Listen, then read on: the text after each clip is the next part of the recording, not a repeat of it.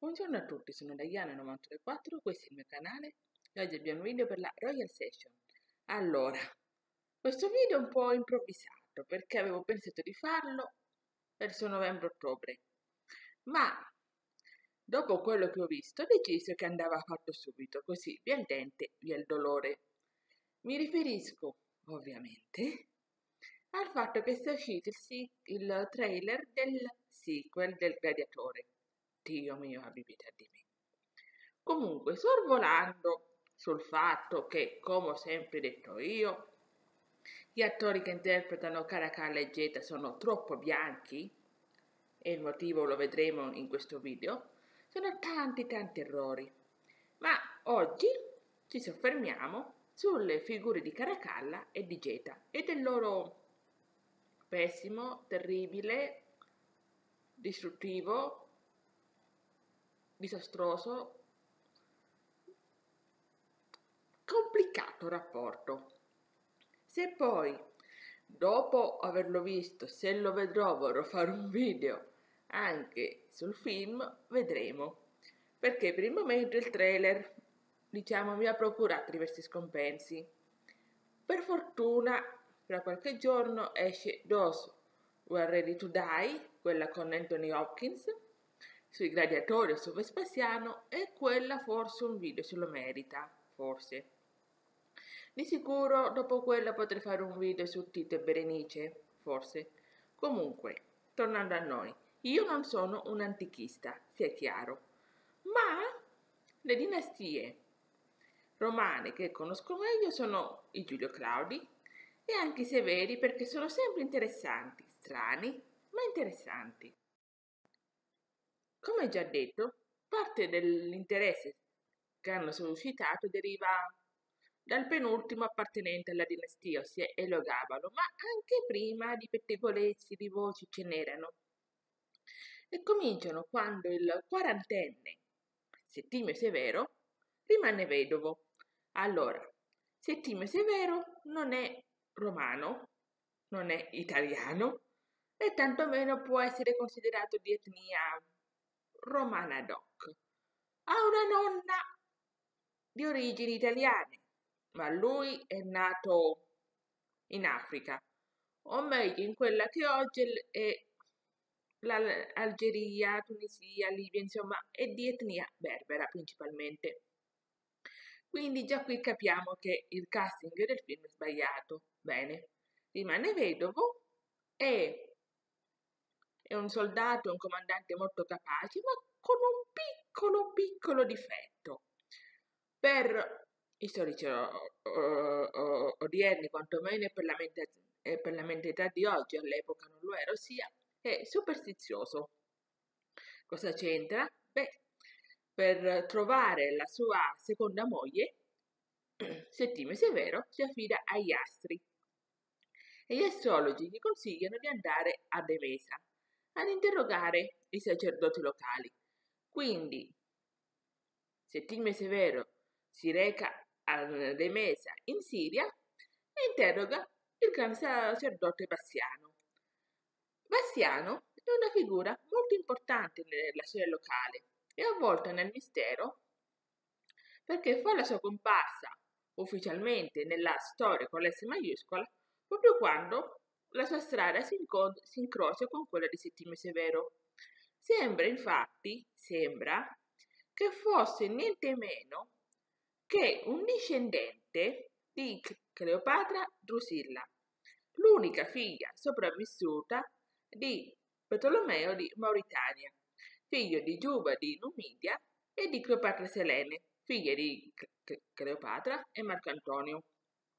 Quindi sembra che in qualche modo avesse anche lui sangue imperiale e sembra, sembra che fosse un antenato niente meno che di Zenobia di Palmira. Sembra, sem- sempre sembra, perché in queste genealogie orientali non si capisce mai nulla, all'epoca i romani non interessavano, quindi è tutto avvolto nel mistero. Comunque Bastiano è il gran sacerdote Ademesa del dio El Gabal, da cui il suo pronipote prenderà il nome. e di fatto lui si occupa sia del tempio che di un monolite che è la rappresentazione del dio. Bene. Quando Settime Severo gli parla di questo oroscopo, Passiano appizza le orecchie, come si dice dalle mie parti, perché anche lui ha avuto un oroscopo simile, ossia che una delle sue figlie sposerà un re. E forse questa è l'occasione buona, perché se Timio Severo ancora non sarà un re, ma sembra che possa in qualche modo fare ancora più carriera. Quindi gli presenta le donne della sua famiglia, che sono quattro.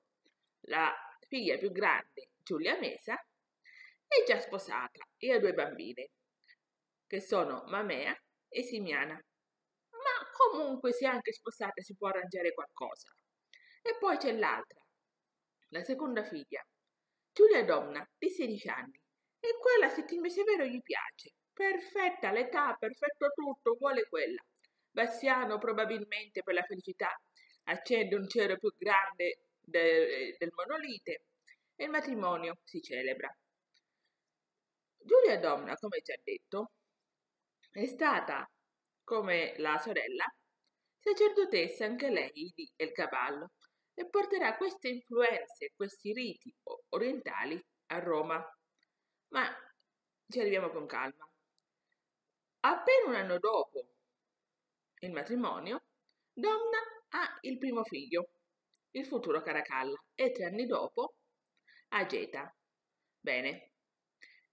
Quando Caracalla ha cinque anni, suo padre diventa imperatore e quindi trasferisce tutta la, la famiglia a Roma. Sebbene lui a Roma no, non è che ci sia morto, Settime Severo è più un soldato, un comandante, quindi passerà tutto il suo regno a combattere per l'impero. Questo è importante. Quindi i ragazzi crescono con la madre e i vari precettori e raggiungono il padre solamente quando sono abbastanza grandi per essergli utili. Infatti, durante la campagna militare in Inghilterra, all'epoca Britannia, Settime Severo li vuole con sé e li distribuisce, ossia Geta, che è il minore ma anche quello diciamo più oculato, più attento, lo mette nell'amministrazione, ossia si occupi delle vettovaglie, dei ministeri dei territori conquistati e via dicendo. Caracalla invece che più impulsivo, più testardo, più sanguinario, sia con lui e impari come indirizzare questa, diciamo, violenza. Qui c'è una cosa un po' strana dalle fonti, ossia inizialmente ci dicono le fonti, ossia principalmente la storia Augusta, che oggi è messa molto in discussione, Caracalla era un bambino timido, poco amante della violenza, che addirittura piangeva quando assisteva alla morte di un, un, un animale, ma che con l'adolescenza in qualche modo si è guastato.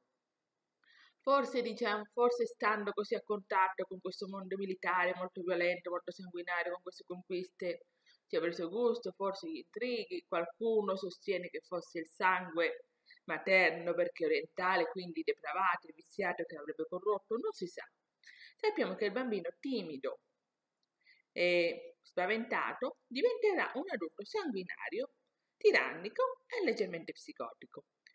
Ma veniamo quindi a quando Settime Severo Addi muore e i suoi figli hanno 18 e 15 anni, dei ragazzini, e diciamo vengono nominati entrambi imperatori. Sì, questo è strano, perché Settime Severo, che ha fortemente criticato Marco Aurelio per aver dato l'impero a Commodo, suo figlio, fa la stessa cosa con i suoi figli.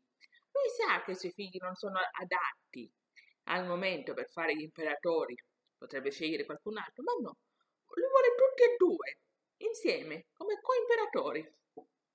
O perché in qualche modo è un cinico, è un disilluso e quindi pensi io lavoro me l'ho fatto, adesso non me ne frega più niente, organizzatevi voi, o perché come padre pensa che in qualche modo, dove, essendo costretti a lavorare insieme, a stare a stretto contatto, i due imparino a stimarsi, a volersi bene e creino un buon impero.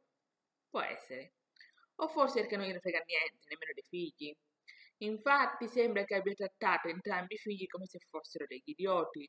in un'occasione semi-leggendaria durante la campagna in Britannia, Caracalla gli punta una spada contro e Settimio Severo si mette a ridere, insomma, proprio un livello di menefreghismo alto, non gli dà nemmeno quattro ceffoni o lo riprende in pubblico, no, un menefreghismo assoluto. Ed è il motivo per cui i, i ragazzi sono molto affezionati alla madre. E ora veniamo al vero problema. Caracalla e Geta non si sopportano, si odiano. C'è una piccola differenza d'età tra, tra di loro e sembra che Dom non, non, abbia mai fatto preferenze, ma nonostante questo i due si, non si sopportano, odiano stare nella stessa stanza.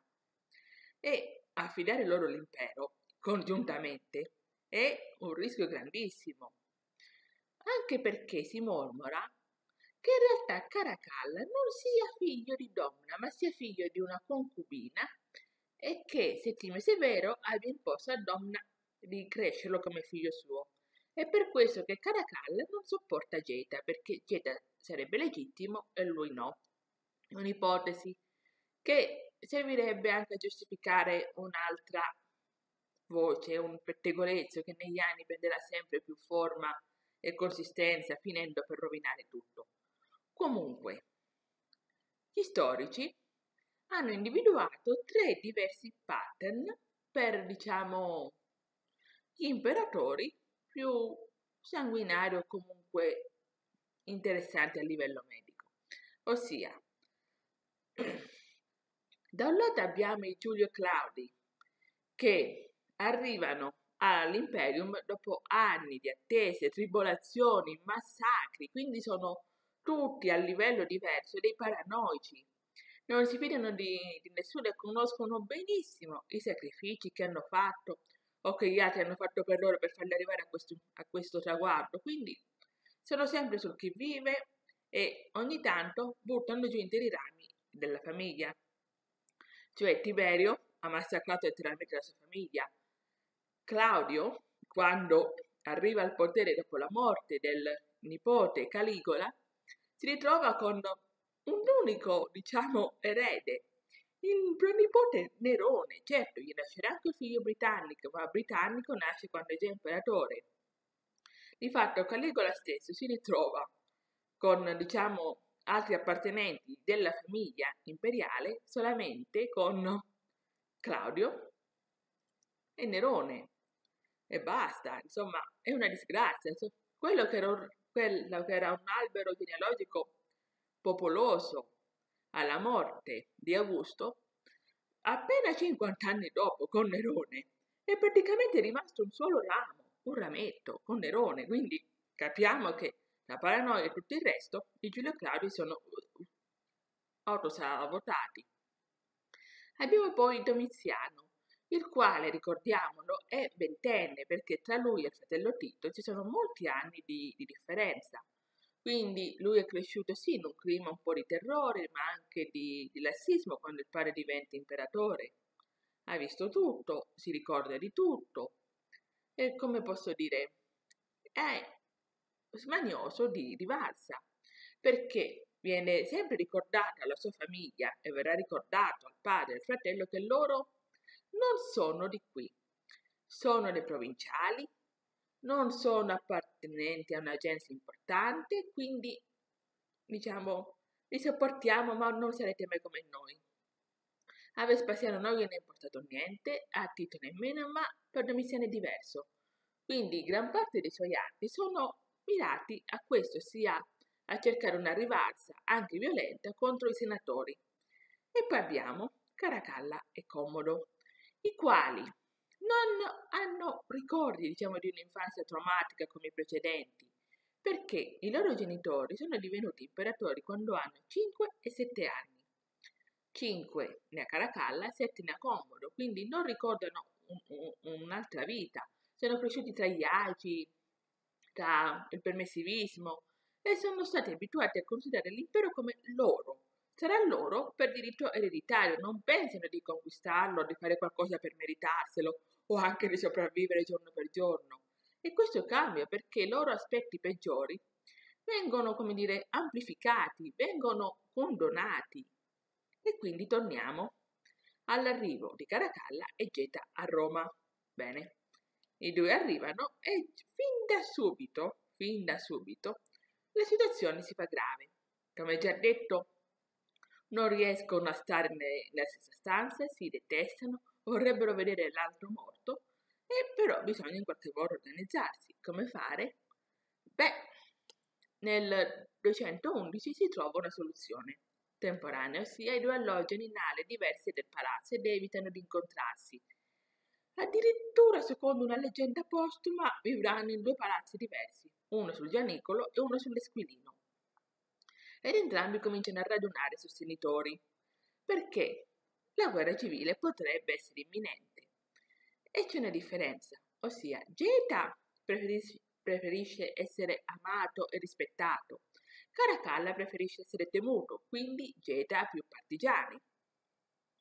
E nel giro di un anno la situazione è diventata così grave, così tesa, che i senatori hanno un'idea. Dividiamo l'impero in due. Perfetto e preciso. A Geta diamo la parte, diciamo, europea, con capitale Roma, e i senatori italiani rimangono a Roma con Geta.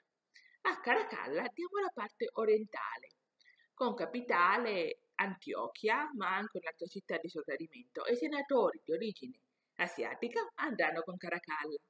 Per evitare, diciamo, altre preoccupazioni, mettiamo delle legioni ai confini in maniera tale che nessuno dei due pensi a un colpo di testa. Idea interessante, ma che all'ultimo, diciamo, non avviene. Narra la leggenda, infatti, perché qui si tratta di leggende, quasi sempre, che quando i ragazzi hanno accettato questo accordo, stanno tutti per ratificarlo, la donna intervenga e dica, bene, voi avete diviso l'impero in due, ma avete dimenticato una cosa. Me, come facciamo? Io non verrò costretta dai miei figli a dover scegliere tra di loro. Quindi uccidetemi e seppellite una parte di me in Europa e un'altra parte in Asia. E i due rinunciano.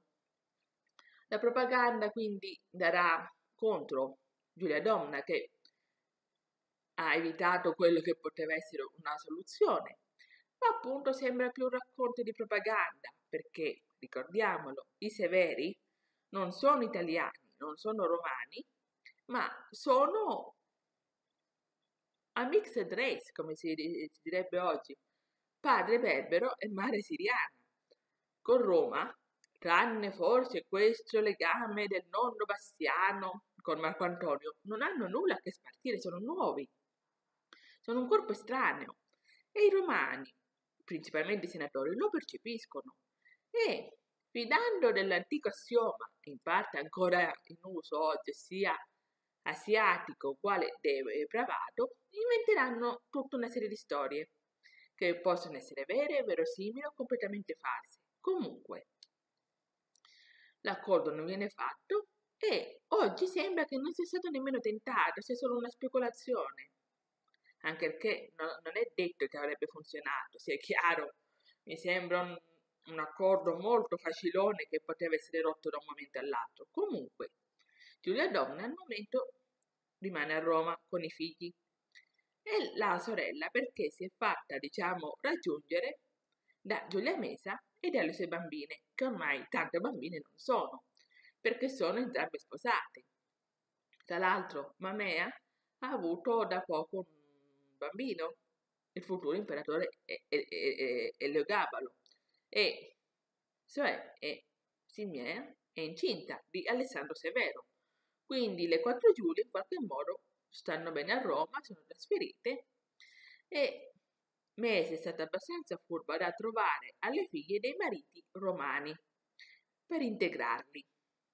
Anche perché ha visto che i nipoti per integrarsi non stanno facendo nulla, sia chiaro, non si vogliono integrare nei costumi romani, tranne i peggiori.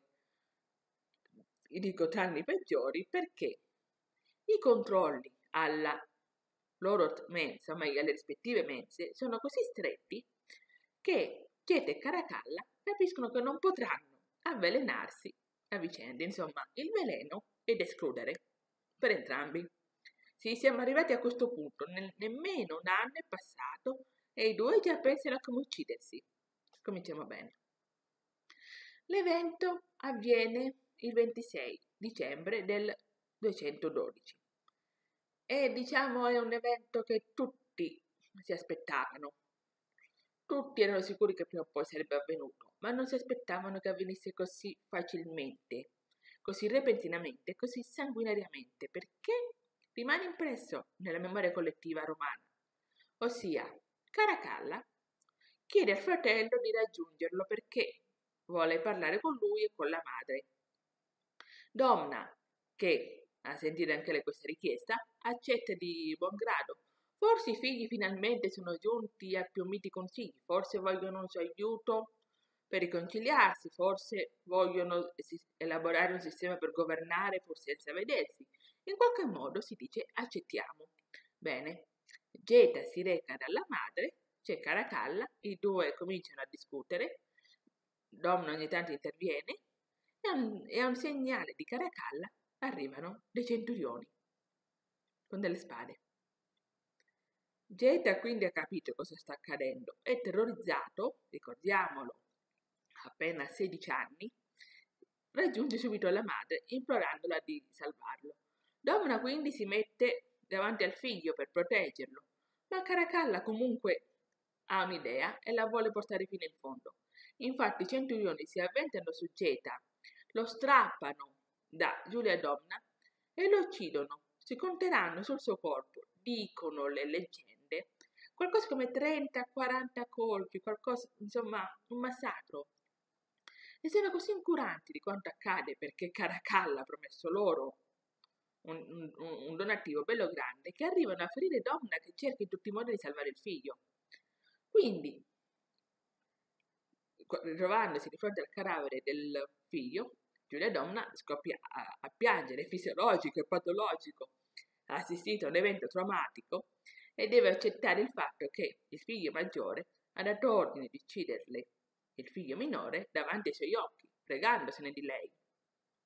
Ma Caracalla le ordina di non piangere, di non portare il lutto e vieterà alla madre, alla zia e alle cugine e a tutta Roma e poi a tutto l'impero di piangere Geta. Geta non merita il lutto, non merita una sepoltura, che infatti avverrà dopo la morte di Caracalla, quello che ne rimane, e soprattutto dà inizio a una grandissima purga dei sostenitori di Geta.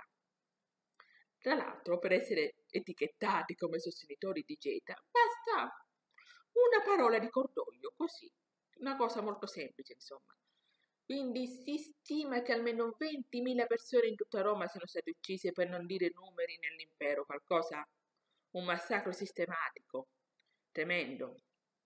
Si rivolge Caracalla a un giurista chiedendogli di scrivere, diciamo, un elogio de- del fraticidio. Il giurista rifiuta. Caracalla lo, lo fa uccidere. Fa uccidere il suo vecchio precettore, che lo ha rimproverato per questo, anche perché Caracalla si giustifica di fronte al Senato e al popolo, sostenendo che no, lui non ha ucciso il fratello per, diciamo, per poter regnare da solo, perché lo odiava, ma perché Geta lo odiava di più. Aveva architettato un piano per ucciderlo e lui è agito prima, è legittima difesa. Ovviamente non ci crede nessuno, ma a Roma comincia a prendere voce un pettegolezzo, che sarà l'inizio della rovina dei severi, etichettati sempre di più come dei depravati orientali pronti a tutto. Infatti, dice questo pettegolezzo, per quale motivo, secondo voi, Caracalla ha ucciso Geta? Per il potere? No, questi asiatici non sono come noi, a loro del potere non importa, sono tutti dei depravati, sanguinari. Il motivo è un altro, è la gelosia, si dicono i romani, gelosia. Sì, Caracalla e Geta si dividevano la stessa donna, ma dopo un po' si sono stancati e Caracalla la voleva tutta per sé. Chi è questa donna misteriosa? si dicono i romani. Beh, ma la risposta è una, viene come risposta. Chi è che governa tutto? Chi è che si occupa di tutto? E come può averlo ottenuto? Giulia Donna. Si, si rispondono. Quindi sì, secondo i romani, pur di mantenere il potere, Giulia Donna avrebbe intrapreso due relazioni incestuose con i suoi figli, principalmente con Caracalla, anche fidando di questa voce secondo cui Caracalla non sia biologicamente suo. Infatti, si narra, poco dopo essere divenuto imperatore, Caracalla vede la madre o la matrigna se- seminuda e le chiede, o meglio le ordina, di giacere con lui. Domna risponde che in quanto imperatore lui può fare quello che vuole e quindi Caracalla di nascosto la sposa.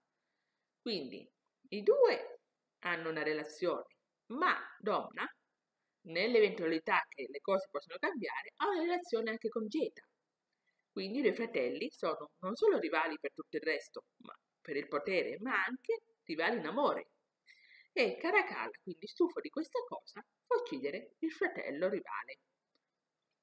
Sembra un po' troppo beautiful, un po' troppo Targaryen per essere vero. Eppure i romani ci credono. Cioè, non sono disposti ad accettare che un siriano africano abbia fatto uccidere il fratello per prendersi tutto il potere, ma sono disposti a credere che abbia sposato sua madre e che abbia ucciso il fratello perché è geloso dell'amore che la madre dava al fratello. Noi italiani con il razzismo talvolta siamo strani, va detto. Quindi sì, la situazione è questa. E tutte queste voci si rincorrono, escono, diciamo, dei pamphlet, dei rotoli, dei libri dove appunto si accusano Caracalla, Geta, ormai morto, e Giulia Domna delle peggiori nefandezze. Si accusa Giulia Domna di aver prima, diciamo, provocato Caracalla, poi aver scelto Geta e quindi Caracalla furioso ha ucciso Geta. Addirittura verrà trovato un rotolo in cui si dice che mentre Domna era con Geta è stata raggiunta da Caracalla che ha ucciso il fratello e poi ha detto madre, tu lo amavi più di me e io non potevo tollerarlo. Da oggi tu sarai la mia unica donna. Capiamo che il livello di cringe di quegli anni è alto. E, tra, e questa decisione di non far piangere Geta porta anche a tre vittime eccellenti. Infatti, l'unica donna che ha il coraggio di fare le condoglianze a Giulia Domna, che comunque ha perso un figlio, è niente meno che Faustina Minore, figlia di Marco Aurelio, che è sorella de- della più famosa Lucilla. Quindi è probabile che nel film abbiano fuso entrambe le due figure, perché ricordiamolo, Lucilla è morta durante il regno del fratello, Faustina invece è sopravvissuta. E quindi possiamo ipotizzare che Ridley Scott chi per lui abbia fuso le due sorelle, vedremo, ma è un'ipotesi. Comunque Faustina si reca da Giulia a farle le condoglianze e Caracalla non è che approvi molto, anzi non approva per niente. Infatti, dà ordine a Faustina di uccidersi. Faustina inizialmente non, non ci crede, insomma è un what the fuck bello grande, ma Caracalla insiste e, siccome è figlia di Marco Aurelio, gli dà una scelta. Può scegliere lei come morire, su quello lui non mette bocca, ma si deve uccidere. Faustina inizialmente pensa ancora che sia uno scherzo, si rivolge ai senatori, si rivolge a chiunque, ma nessuno può fare niente. Insomma, Caracalla è proprio uscito di, di melone su questa faccenda. Già iniziato la dannazio memoria di Geta, diciamo scalpellandolo via da tutti i monumenti, da tutte le iscrizioni. E non so se siete presenti il famoso tondo se- se- severiano, in cui si vedono Settimio Severo, Giulia Domna Ca- e Caracalla, e Geta a cui è proprio scalpellata via la faccia, il volto, non, non lo si vede più. Primo esempio di cancel, di cancel culture, tra l'altro, ma comunque. Faustina alla fine è costretta a uccidersi tagliandosi le vene perché non vede alternative. Ma, si dice qualcuno, questa in realtà è una mossa non tanto dettata dall'oro verso il fratello, quanto dal timore che qualcuno possa davvero ribellarsi. Insomma, questo, questo 212 si è chiuso con un massacro e qualcuno potrebbe ribellarsi. Anzi, due persone tecnicamente avrebbero più credito di Caracalla al trono, ossia